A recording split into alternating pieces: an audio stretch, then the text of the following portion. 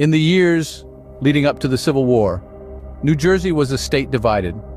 The 1850s were a time of economic and social divisions within the state.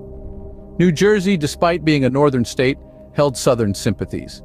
Its economy, heavily reliant on trade with the South, created a complex dynamic that was unlike any other in the Union.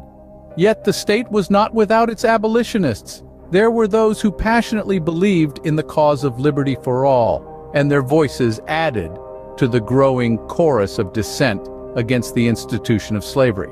The political tension within New Jersey was palpable, especially during the presidential elections of 1860. The state, like the nation, was split between those who favored the preservation of the Union at all costs and those who championed the rights of states. As the nation teetered on the brink of war, so too did New Jersey, a state caught between North and South. When the Civil War broke out in 1861, New Jersey found itself in a unique position. Despite being geographically nestled in the north, no battles were waged on its soil, Yet the state was far from a passive observer. New Jersey sent over 70,000 troops to fight for the Union cause, a significant contribution given its size.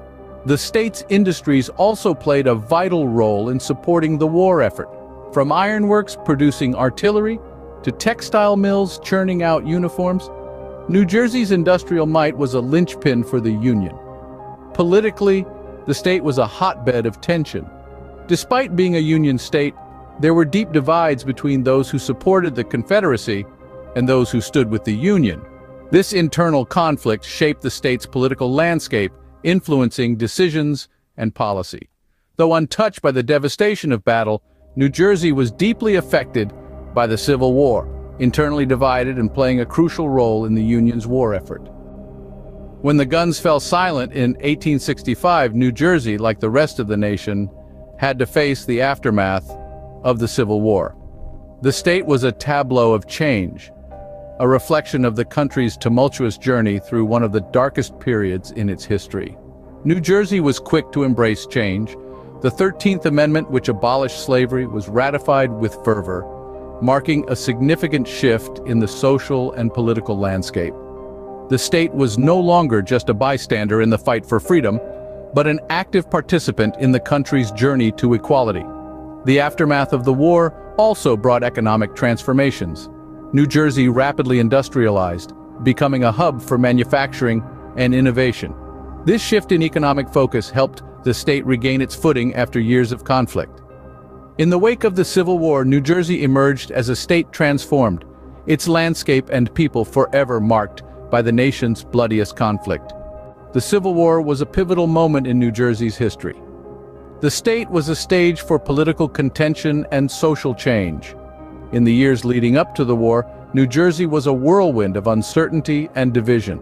Yet when the war erupted, New Jersey stood firm, contributing significantly to the Union cause, despite not being the battleground for any major conflicts.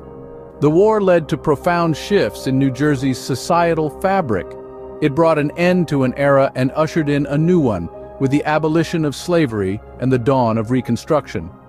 The state's political landscape was also forever altered, with new leaders and ideologies emerging. In the aftermath of the war, New Jersey faced the challenge of healing and rebuilding, a task that would shape its future in the years to come. The Civil War left indelible marks on New Jersey, marks that are still evident today to see what happened in your state during the Civil War, click the playlist that's on your screen and thanks for watching.